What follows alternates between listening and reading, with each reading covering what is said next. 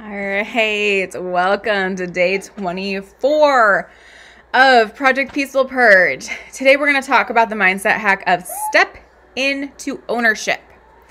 Here's the deal, guys. You are 100% responsible for your choices, attitudes, and actions. Okay? Situations and circumstances sometimes are outside of our control. We can't always control our circumstances. Things happen.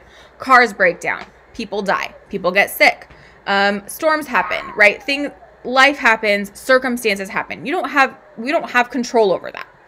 But we do have 100% control over how we choose to think, how we choose to act, the attitudes we're attitude we're going to have and the choices we're going to make in those situations. So 100% control. I, I want you to like kind of sit with that for a second. You have 100% control over your own thoughts, attitudes, and actions. Therefore, you are 100% responsible for your own thoughts, attitudes, and actions. Okay? You cannot control other people. You can't control how other people engage. You can't can't control their thoughts, attitudes, and actions, choices, any of that. And again, you can't control circumstances a lot of the times. Sometimes you do. Some there are some circumstances you do have some control over. But most of the time the actual circumstances, right? Like weather, cars breaking down, something breaking, people getting sick, whatever.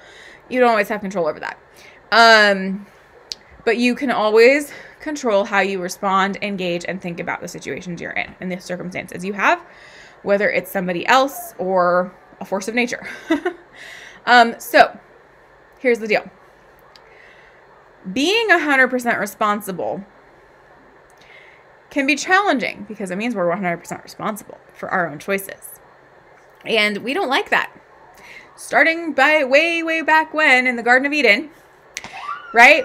We have Adam blaming Eve, saying, like, instead of taking ownership over the fact, yes, I took the fruit and I took a bite of it, he instead goes, oh, well, Eve handed it to me.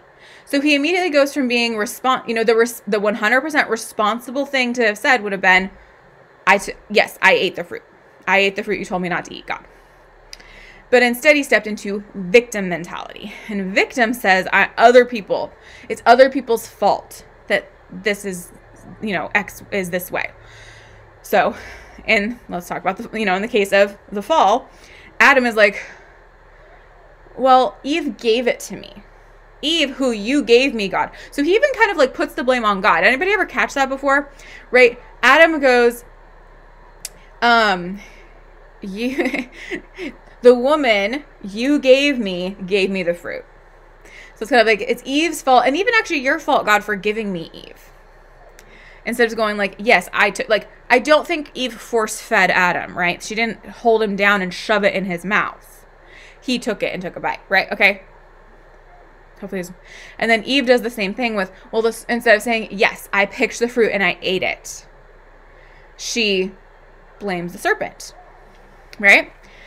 So that from then on humans we have this tendency to want to shift responsibility onto other people so that we don't have to bear the burden of being responsible but here's the deal being responsible is actually a place of power. When we know that when we take ownership over our choices and we step into that responsibility, that puts us into a place of power because we realize that we have dis- we have an ability to make a choice in situations. Have you ever done things because you felt like you had to but you really didn't want to? Newsflash, you didn't have to. You didn't have to do it. But because you were operating out of a victim mentality, you did something you didn't want to do. So, how do we step into ownership? We make the decision. It's a it's just a quality decision really. We just decide. I'm done giving my power to other people. God gave me free will. I have the free will to choose what I'm going to think, how I'm going to act, what attitude I'm going to have, and the choices I'm going to make. I have that free will to choose. I'm going to stop giving it to somebody else. I'm going to step, I'm going to hold, I'm going to, going to take responsibility for that power that God gave me. No one can make you feel or do anything. No one can even make you feel anything. It, your emotions are your choice. You choose to feel certain emotions based on your thoughts and what you're focusing your mind on. So when you own, I get to decide how I feel in this situation. I can walk into the situation feeling oh, feeling um, anxious and stressed, or I can walk into the situation feeling calm and peaceful. It's 100% my, my responsibility for my attitude, my choices, my emotions. And here's the deal, too it puts us in this place of power because if we don't like something, if we don't like how we feel, if we don't like the choices we're making, we can make changes accordingly instead of feeling like we have to rely on someone else. So, making that choice, stepping into ownership, doing and making that quality decision of I'm going to stop giving my power to other people. I'm going to stop being a victim and I'm going to be responsible. Is a huge game changer. When we start living our lives like that, that's when the major breakthroughs happen. Because overwhelm, overwhelm's a feeling and overwhelm's actually a choice. I know this is hard to, this is going to be a hard one to swallow, guys. Overwhelm's a choice. Choosing to stay in overwhelm's a choice.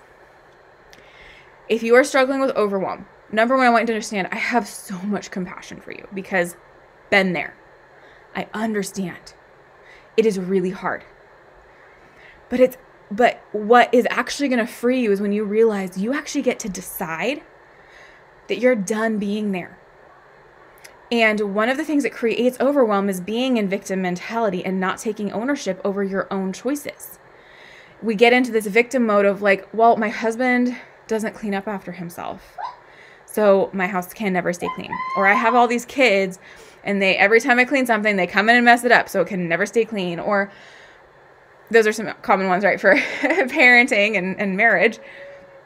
You know, or even like at my job, well, my boss just like is really stressful and ha- always puts too much on me and has too many expectations of me. And right when we put it on other people, the reason why we feel a certain way, it's giving them our power.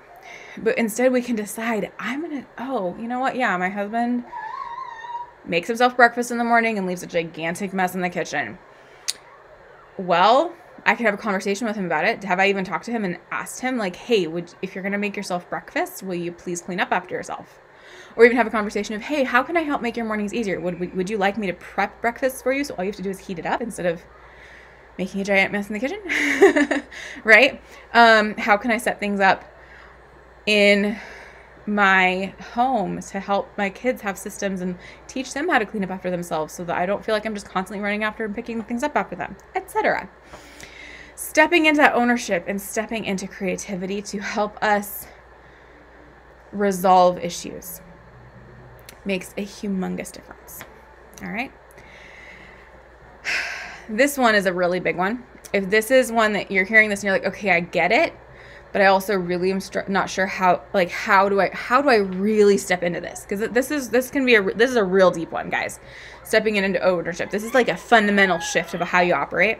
And so if this is one that really is like if you have a lot of resistance to it some of you are going to have a lot of resistance. And like um no you're wrong. You're going to just like totally like want to argue with me and tell me that I'm wrong which is fine. You can you can think that. Um, it's your choice. Um, some of you are gonna kind of be like, okay, it makes sense, but how? How do I? How do I? How do I release ownership? How do I make that quality decision? How does that really work? You just you want some more to dig into this more. If that if you want to dig it into more, if you have re, if you have any resistance to this, please, you can book a one-on-one call with me. As a member of this, as a member of this challenge, you get a free one on one call with me. So go to the calendar link that I've already shared with you and book a call. If you don't see times on the calendar that work for you, just send me a message or email me, Coach Amanda at amandakStout.com. You can email me or just send me a direct message and we'll find a time that works. And I would love to help you wrestle through this and see how it applies for you and how you can step into that ownership because it really makes a huge difference. So, that is our mindset hack for today. Our task is to assess our main living area. This is typically the living room. It might be a great room if you have kind of a more open floor plan. But assess the main living area. Kind of take a look at it. Is there anything that can be removed from the area or adjusted or even added to help making to help make keeping it tidy easier? Would putting a basket for blanket for extra throw blankets next to the couch help? Would removing a certain piece of furniture help? What would help keep make the area just feel more tidy and inviting? And what, you know, act on what you find. And I will see you all tomorrow. Bye guys.